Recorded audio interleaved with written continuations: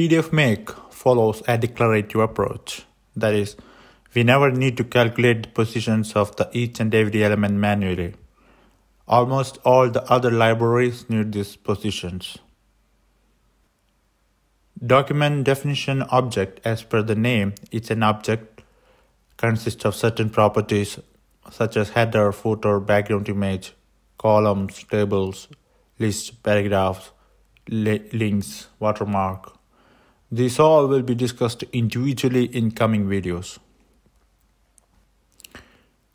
Next, we deals with styles. This library provides the convenient way of styling using the properties. For a front-end developer, it will be much more simpler that the property names and values will be more familiar for them. Here we use the properties such as font. Uh, it's actually a string that is the name of the font for the custom fonts, we use the names that has been declared in the VFS font file.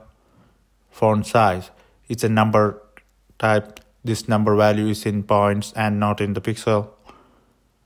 Line height, it's a number. The default value will be 1. Bold, it's a boolean value. Default is false. When it's true, it will make the bold font declared in font file italics, its default value is false.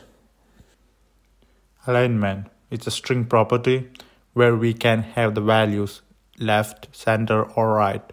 This property can be used to align the text, only the horizontal wise.